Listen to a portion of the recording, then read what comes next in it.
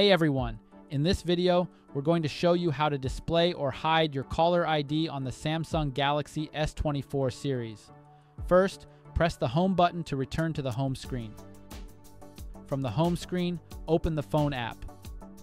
Next, tap on the More button at the top right corner. From the pop-up menu, select Settings.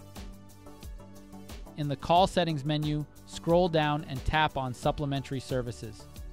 At the top of this page, tap on Show Your Caller ID.